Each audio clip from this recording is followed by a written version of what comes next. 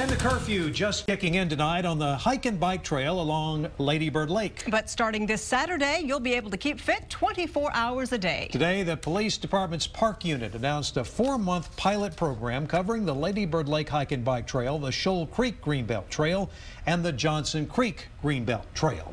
KXAN's Robert Maxwell joining us live from Auditorium Shores with more on the plan and how police will protect you. Yeah, the goal here, of course, is to ensure public safety during lower visibility hours. That's how police term it. I mean, take a look around here. A little bit down the trail live, nothing but the dark of night.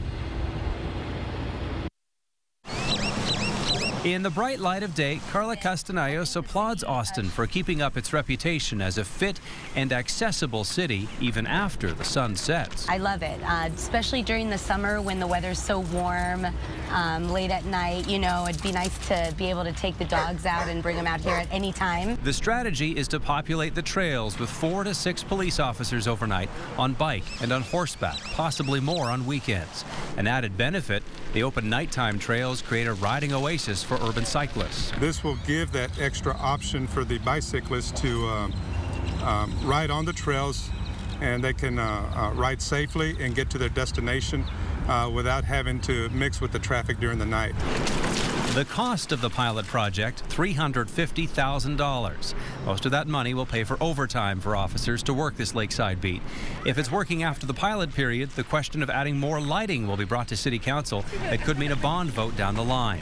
You've been out here, buddy? The pilot project for 24-hour trails starts June 1st and runs through September. Ultimately, a permanent open trail policy could make downtown living even more attractive to those who live there. I definitely like that. It's it's good because people have something to do at night. Um, a lot of people here work late hours, so when they get off of work, they want to take their dog out, and it's, it's a great place to have something like this. And back here live, we can tell you that City Council's been talking for a little bit about extending trail hours. So depending on how this pilot project goes, it could influence that decision.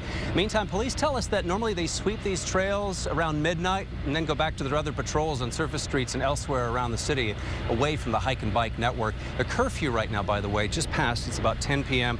to 6 a.m. Of course, after Saturday, it'll be 24-7. We're live down on the Lady Bird Hike and Bike Trail in downtown Austin. Robert Maxwell, KXAN News. Robert, Thank you. Further north in Williamson County, there's a move to design an alternate regional trail route. Williamson County and the city of Cedar Park held an open house tonight for this plan for Champion Park. It's part of a bigger effort to modernize the Brushy Creek Lake Dam.